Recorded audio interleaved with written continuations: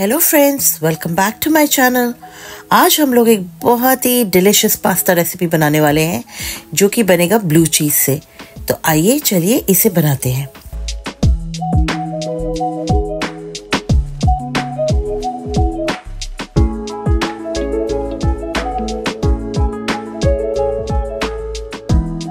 Pasta बनाने के लिए मैंने पास्ता और पानी को रख दिया है। पानी में बॉईल आने पर मैं एक क्वार्टर टी स्पून इसमें करीब ऑयल और नमक ऐड कर दूँगी और पास्ता को बॉईल होने के लिए छोड़ दूँगी। जैसे हमारा पास्ता रेडी हो जाएगा फ्लेम हम ऑफ़ कर देंगे और पानी एक्स्ट्रा जो है वो सब निकाल देंगे। अब मैंने एक पैन ले लिया है, उसमें करीब एक स्पून ऑयल ऐड करने के बाद मैंने इसमें चॉप गार्लिक ऐड कर दिया है। गार्लिक को हम थोड़ा सौते कर लेंगे और उसके बाद हम अपने और इंग्रेडिएंट्स ऐड करेंगे।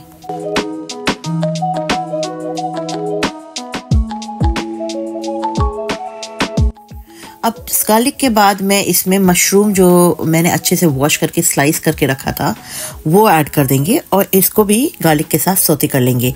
फ्लेम हम थोड़ा हाई रखेंगे, जैसे कि हमारा मशरूम का जो पानी निकलता है, वो सूखता भी जाए साथ में।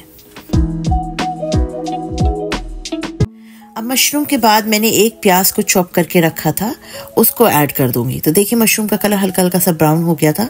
तब उस स्टेज में मैंने इसमें प्याज ऐड किया है और इसको भी स्टर फ्राई कर लूँगी।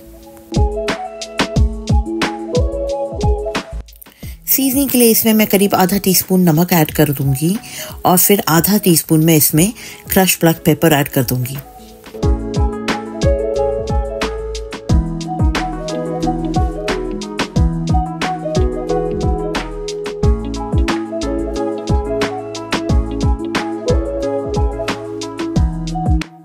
फिर मैं इसमें करीब एक ग्लास मिल्क ऐड करूँगी और इसको अच्छे से स्टर करती रहूँगी, जैसे कि मिल्क हमारा नीचे से जले ना।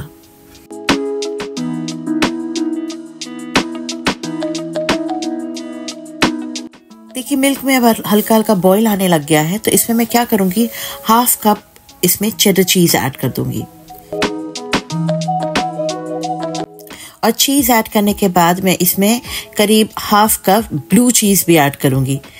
अगर आपको ब्लू चीज़ नहीं पसंद है तो आप और ऑल्टरनेटिव जो भी चीज़ आपको पसंद है ऐड कर सकते हैं। बट ये स्पेशली मैं ब्लू चीज़ पास्ता बना रही हूँ और मुझे अच्छा लगता है ब्लू चीज़ इसलिए मैंने इसमें ब्लू चीज़ ऐड किया है। तो इसको हम अच्छे से स्टर कर लेंगे, जैसे कि ये अच्छे से ब्लेंड हो जाए और एक स्मूथ पेस्ट रेडी हो जाए।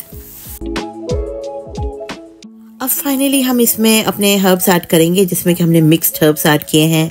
पासले ऐड किया है और चिली फ्लेक्स ऐड कर दिया है। बस अब इन सभी चीज़ों को अच्छे से हम स्टर कर लेंगे।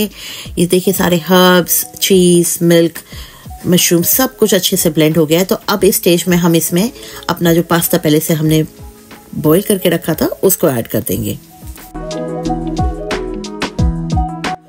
पास्ता को अच्छे से हम इसी सॉस में ब्लेंड कराने के लिए कुक करेंगे करीब दो से तीन मिनट तक। देखिए, हम पास्ता को कंटिन्यूसली स्टर भी कर रहे हैं साथ ही साथ, जैसे कि वो बर्न ना हो जाए कहीं से भी।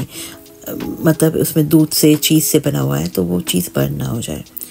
अभी थोड़ी देर में ही आप देखेंगे, इसका टेक्सचर एकदम डिफरेंट हो जाएगा और ये एकदम रेडी हो जाएगा सर्व करने के लिए। देखिए, हमारा पास्ता अब ये रेडी हो चुका है और इसका सॉस कितने अच्छे से ब्लेंड कर गया है पास्ता में। और अब हमने इसको सर्व भी कर लिया है। तो इसका टेक्सचर देखिए, एकदम फ़र्क आया है। ये खाने में बहुत ही टेस्टी बनता है और इतना डिलीशियस होता है कि आप इसको एक बार अगर बनाएँगे तो आपको बार बार बनाने का मन करेगा। आपने देखा ही होगा, ये सिंपल है बहुत ही रेसिपी तो एक बार ज़रूर ट्राई करिएगा।